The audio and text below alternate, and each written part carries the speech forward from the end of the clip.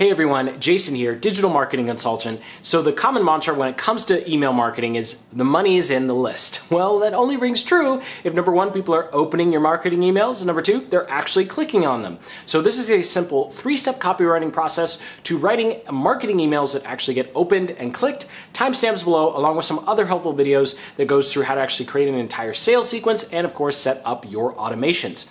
So there are only three things we need to do with your marketing email. We need to get them opened, we need people to read and engage with them, and then we need the right people to click. And the best way to get your emails opened is by using Curiosity. And of course, when it comes to subject lines, there are a lot of different things you can use in the subject line to drive curiosity and get someone to actually pay attention and open that email. But using questions is one of the simplest and most effective way to make sure the right people are opening your email email, especially if you're sending this email out to a general broadcast list. You want to make sure that you're calling out the specific person that your offer or affiliate offer is best suited for. And so here's an example that we'll be going through during this particular three step process. So, as an example here, let's say we are doing an email that's promoting some sort of offer to help consultants grow their new business, right? So, we could have questions like, how much do you charge? Are your prices driving potential clients away?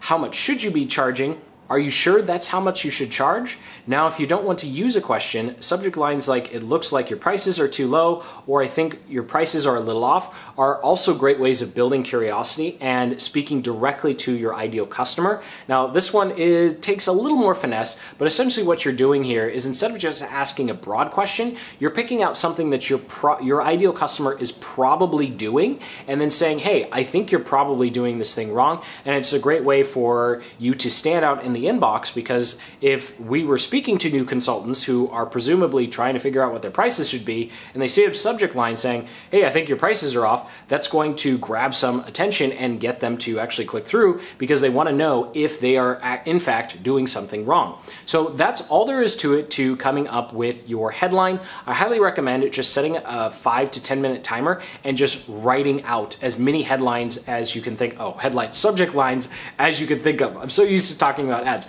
Write out as many subject lines as you can think of. And then you're ready for step number two, which is going to be broken up into, into two parts. And this is establishing rapport. So, number one, you need to hook the reader or your subscriber in. And then number two, you want to establish some rapport and actually create a very, very short story. We're not writing a novel here, a short story following a very simple formula to show that clicking the link is going to actually be helpful to them in what they're currently currently dealing with. So all the hook is designed to do is to get people to keep reading the email and then you'll be able to go into your story. Now here's the simple four-step story formula you can use with your own emails. Of course, we kick things off with the hook, which would actually be the climax or the drama of your story. It may sound counterintuitive, but you'll want to start in the middle of your story. Pick out a situation that your ideal customer may be in or begin your email with a low or high point in your story. So think about the part of your story you can make dramatic and put it at the beginning. Then you're actually going to rewind a little bit and set the stage and the context for your story. Now, this works best if the situation that you're in is very similar to the situation that your ideal customer or client is in. By the way, if you're doing this story that not about yourself, it can be about one of your clients or it can be a story that you made up to illustrate a point. You just have to make sure that before you begin the story, you do have to say it's hypothetical. So unfortunately, that would have to go before the hook, but it still works out even if it's a story that you've created just for illustrative purposes. And so your setup is designed to mirror whatever situation your ideal customer is in. Then we go on to the roadblock where you introduce the struggle, the problem, something that's in the way of the results that your your hero in your story is trying to achieve, which is you, your client, or the fictitious character, or this is the roadblock or struggle that your ideal customer is deal, dealing with, and you want to dedicate three to four sentences to talk about how you failed, illustrate the painful consequences of that failure, and if there are alternative solutions to whatever your offer is, you can actually tie those in as well, saying, and I tried this and it didn't work, and I tried that and it didn't work, but you really only want to mention one or two solutions that you tried that didn't work. Otherwise, it's going to come across like you're listing out everything that didn't work except for whatever you're setting up your offer to be. So make sure that you choose only one or two if you decide to go that route in this particular section of your story. Now, finally, you come with the solution. what you created or discovered that allowed you to overcome the roadblock and ultimately persevere. So let's go through one of our emails as an example of how this story formula can work out. And as you'll see, it's not an exact science here. We are copywriting, so there is some art to this, right? I'm not saying I'm the best copywriter in the world, but this is a formula that you can use to create your own. So here we go. 43 minutes and 28 seconds in. My palms are starting to get sweaty. Up until this point, I've been calm. But I'm coming to the hard part, the part where I never know exactly what to do or how to do it. It's been almost a year, and yet I can't get over this last hurdle. And I chose this particular email because it's one of the ones where we have a little more drama than usual, but this is about as much drama as you need to actually hook a reader in. So your subscribers, they're reading a bunch of boring emails, and so telling a story is something that can help keep them entertained and keep them reading. And so you just want to start at some intense point to help hook them in and actually get them to continue to read the email. And then of course, we're going to rewind and go to the situation here, the setup. I'm on my third sales call of the day, and this happens every dang time.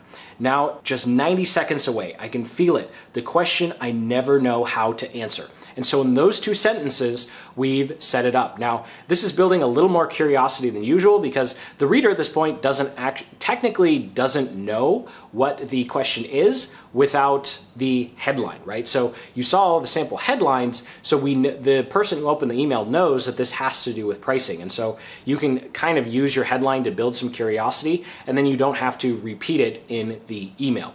So then we go into the roadblock, right? How much do you charge? Gulp. Will I get it right this time? Unfortunately, most of the time, I'd get it wrong. Really wrong. Some calls ended in a high ticket sales, Others ended with a sense of dread for the low price I'd settled for. And so here we're talking about the problem. Some consultants being on calls, not understand, not knowing what the heck to charge, and then either, and then talking about the emotions of, wow, I'm really happy that I got the high ticket, right? Or, oh my gosh, I can't believe I agreed to do that much work for that little pay, right? And so you do also want to think about the emotions that you want to invoke during this story. And of course, this mirrors what a lot of new consultants go through.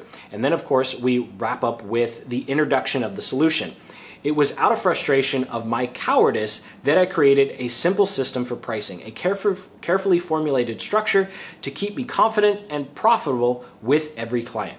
And so in that one sentence, I'm introducing a solution and the end result. I was able to be confident with clients and I was able to be profitable because I came up with this solution. It could just as easily be some other solution, especially if you're doing affiliate marketing. You could say, until I found this or until I tried that, right? And so that does it for the four parts of your story formula. And as simple as this may seem, you see, it's very surface level. We're not going super deep with any of the details. We're just focusing on a key, a few key emotions and one specific problem. So it really works when you choose one specific problem or roadblock for your story. That way you don't have to worry about writing more than 500 words to communicate some emotions and get a point across. And so once we have that, we're ready for step number three, which is the call to action. Here, you don't want to be shy. Now, this isn't the part where you say, buy this now, or you're a complete idiot, or you're a schmuck if you don't click this link, right?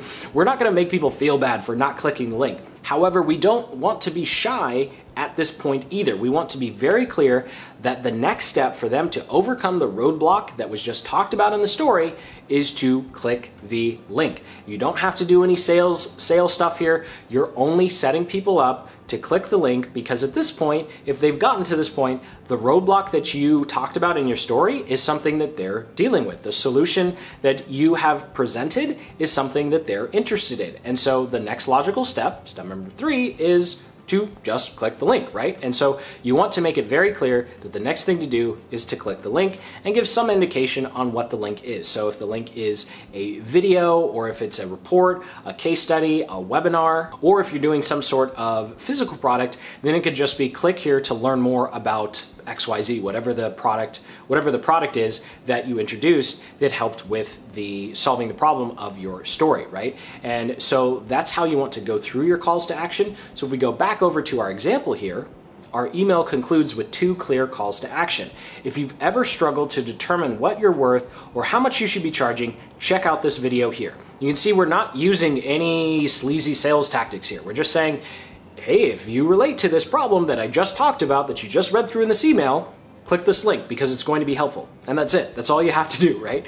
All of the heavy lifting of the sales will be done on whatever should be done in whatever the next stage of your process is. Especially because when you're sending emails like this, you don't actually know for sure if this person's a good fit for your product or service. So you don't want to use any high pressure sales or salesy or sound salesy with someone who potentially might not be a good fit, right? So we also need to keep in mind that when we're sending these general marketing emails to potentially segment our list or just see if someone's interested in something, we want to make sure that we're calling out and driving action to the people, the small percentage of people who should be taking action, but not turning off everybody else, right? Because we want them to continue opening our emails later on down the road.